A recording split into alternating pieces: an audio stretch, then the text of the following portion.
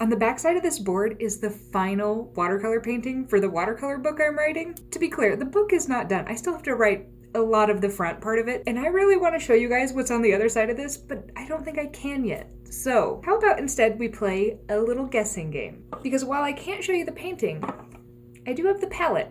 Let me give you a closer look. I might be able to confirm if you're right in the comments. I just don't think I can show you. In addition to having a fun little game of guessing, I do want to give you guys an update.